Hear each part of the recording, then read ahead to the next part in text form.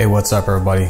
Ali Tarafdar back with a brand new video. Today we're going to talk about some steps that you can take in order to fix your credit. Lately I haven't put up any new content on my channel as I've been observing the credit reporting agencies do their shenanigans. So today I wanted to really bring some steps that you can follow, easy to use steps that you can literally follow to get the results when it comes to personal credit. Now, mind you, these steps need to be implemented on a step by step systematic manner to get the best results so that you can potentially obtain the best outcomes when it comes to your personal credit repair journey. Uh, it is to be noted though that these steps will take a bit of time to implement. It's not something that you can do in one shot and then expect results within 30 days.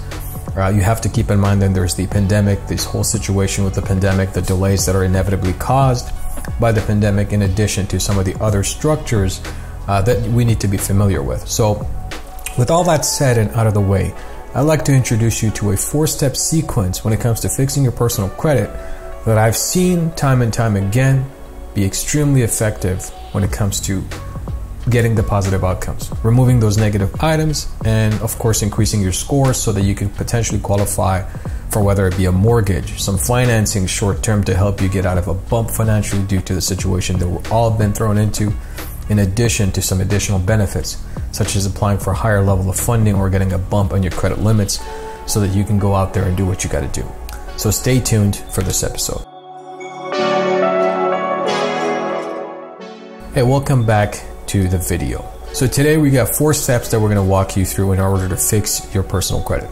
So these steps have been refined over time. And the reason I say that is because I had a couple of videos in the past that I've done that I talked quite a bit about structures that are very easy to implement when it comes to fixing personal credit. These three things you might be familiar with already, such as the PI minimizer technique, a very famous process that a lot of people have picked up on, including my competitors, uh, in reference to fixing your personal credit. This should be the preliminary step on your credit repair journey. The reason why a lot of people fail to use this step is because when they look at personal credit, what they want to do is right away look at the negative items and try to challenge that and try to be as efficient as possible and try to do all sorts of crazy techniques just solely focused on removing the negative items. But there's a gimmick to that. That it might work and it might not work. There's a 50-50 chance. The goal is to question the infrastructure and how it's reported. We're not disputing. The biggest thing that I'd like to enforce and encourage people to understand as they come to my channel and learn the content here is that we're trying to not dispute stuff. And the reason I say that is it may sound counterintuitive or non-productive because other people are just simply stating to you, hey, when it comes to personal credit, you have to dispute. You have to try to, you know, fix your credit by disputing all the negative items. And the reality is, it's not a question of just disputing the negative item. You have to learn to question them the right way. So these four steps are going to teach you specifically on how to do that effectively. So without further ado, let's get started. The first of the many, I think, is you guys are already familiar with the personal identifier, but this technique is called the PI surge. So what the PI surge simply means is that you're taking all the personal details that you have across all three credit reports and you're comparing and contrasting the information that is known to be inaccurate, that is factually proven that the spelling of the information, or let's say the mismatch of addresses, or social security numbers, or date of births, don't match up. It's no longer an individual strategy to attack one creditor or one credit bureau at a time, but rather the collective community of data systems the people who are basically submitting that data about you to the credit reporting agency and challenging them that way. So our objective really is to focus on that. Our objective is to st- structure the, the, the systematic attack in reference to the information that's listed about you when it comes to your personal data. Now there's all sorts of data sets that are out there. We talk about personal names, we talk about, you know, addresses, we talk about a whole list of other things that are potentially there, but our objective is very simple. Compare and contrast. Take all three credit reporting agency, list out all your personal details, and challenge the ones that don't necessarily correspond to you. Right? So if you have a middle initial, and I always encourage you to remove it because that is a mix up on its own. It's a mix up waiting to happen. And you have the right to modify information on your reports so long as they're inaccurately reporting and of course adjustments based on uh, the accuracy of your current situation. So you can take the three bureaus, compare and contrast them, write them out, and say, here's all the list of personal information that is no longer relevant or is inaccurate. I'm requesting that you please remove it and update my reports as soon as possible because this is causing injury to my ability to borrow and my character as a whole, essentially causing defamation in a way. So that's the PI search. It's not an individualized structure anymore. We're not necessarily going with one bureau anymore, but rather we're taking all three bureaus, comparing and contrasting them, and then listing out all the personal details, regardless whether they show up on one bureau or not. The collective amount of data that's submitted, and then basically, you know, trying to communicate with all three bureaus at the same time about those data sets. That's the first step that you need to concentrate on.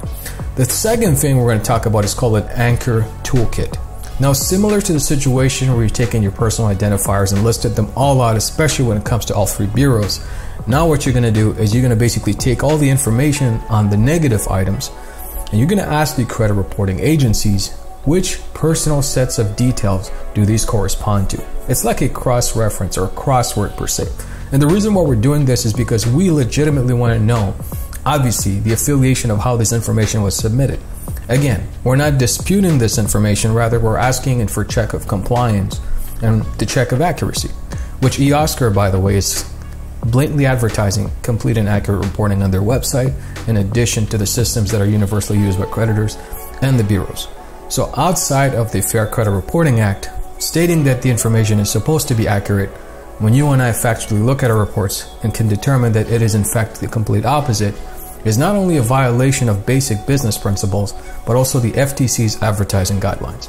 So, going back to the Anchor Toolkit, we're going to take a series of all the information that's negative, request the credit reporting agencies which personal detail sets are these affiliated with, and you request that information as soon as possible because you believe that the information may be reported inaccurately and you have the right to request modifications and removal of such negative items if the information is not kept up to date in accordance to the eOscar guidelines and compliance procedures. So that's the Anchor toolkit. And again, you're listing out all the negative items from all three bureaus on that document. You're not necessarily separating them anymore. We're keeping it uniform. So once you do that, now you have your personal search, which is a list of all the personal details from all three bureaus into one document, going through all three bureaus at the same time. The second document is the Anchor Toolkit, which is looking at all the negative items and asking the credit reporting agencies of which bureau, or not which bureau, I apologize, which personal details do these accounts belong to and what are they affiliated with and who are they affiliated with, just to ensure the accuracy of these items and to, to maintain compliance and the protocols of compliance. And this is again not a dispute. So let's assume that you know they they got that and then on a one piece of document, a final piece of document that goes out to all three bureaus is what I call the friendly three Qs. The friendly three Q essentially means the friendly three questions. These three questions are very powerful because as a consumer, you have the right to request this data. The first would be initially when a creditor submits this data, did they follow all compliant accuracy protocols to continue ongoing maintenance of that account? That's the first question. The second question is if the negative items that are there have been affiliated with personal details were not accurate for a very long time and you reported them continuously, what kind of sums of fine are you entitled to in accordance to the violations of the FCRA? Can you state the sum? And the reason you're asking that is because you're hinting to them that you may pursue them legally, but you in fact are just trying to get rid of those negative items. But indicating the legalese in it and trying to request a sum that necessarily will give you an idea of what you're entitled to in terms of damages and asking them to come up with that number specifically given that from the date of which it was reported inaccurately to the date today could be a couple of months could be a couple of years you are entitled to FCRA violations punitive damages and so on and so forth. Asking them to calculate that is a very dangerous situation. So that's the second question. And our final and you know third question here is uh, based on the damage that's already done and due to the emergency and the situation due to COVID and of course the pandemic, uh, a delayed response is not acceptable. Therefore, this this needs to be escalated. Which departments can you contact to get this escalated and get it fixed as soon as possible? So that's the third and final piece here on the friendly 3Q, which is the friendly two questions. So with that said, you send off your letters and you wait for a response. You wait until you know they get back to you. Now, while you're doing this, while you're sending your letters, make sure you notarize your documents because your identification, when it's notarized, there's less kickbacks from the credit reporting agency. They cannot say, you know, this looks like it was submitted on your behalf or somebody else did this, but rather you're ensuring under oath that it is you who sent it and therefore the information cannot be kicked back generically stating that hey we don't recognize who this is or this information doesn't seem like it's coming from you to avoid all that obviously we're getting those documents notarized And our final point here is once we get a response and we're not satisfied, obviously you may have some negative items that fall off, but assuming that you're not satisfied and there are certain things that are missing, what we do is FU with F. And FU doesn't mean the F word, we're talking follow up. That's what FU means. And with F, with friends. What are some of the agencies that are interconnected to your interest as a consumer to protect you? The Attorney General's office, that's number one, right? The Consumer Financial Protection Bureau, albeit it was their responsibility and duty to enforce compliance, they're ignoring that. So we can count them as a secondary recourse. But the Attorney General's office is number one. The second, I would say, and it is a very structured way of getting a response, is the Better Business Bureau. You can file a complaint with them as well. And then the third and final agency that I would go as far as is the Secretary of State, but not of your state, but the business's principal headquarter location, such as Experian being Mesa, California, Equifax being, you know, Atlanta, Georgia, and so on and so forth. So file a complaint with their state attorney general's office and the Secretary of State as well, so that those final complaints reach the credit reporting agencies to get you a timely response. And in your complaints, you will simply state that the credit bureaus failed to adhere to the eOscar guidelines, to maintain the accuracy of my reports, and are being negligent and failed to answer the questions that I've asked them over and over again. And I'm demanding a quick resolution as this is causing further and further uh, injury to me on a financial level and a credit level as well. So that is the final structure and the nail in the coffin. Once you completed that round, it may take up to 60 to 90 days to get appropriate responses. You may get multiple letters from each bureaus. It is completely normal, but that is the structure that I encourage you to try out and hopefully you get the results that you're looking for.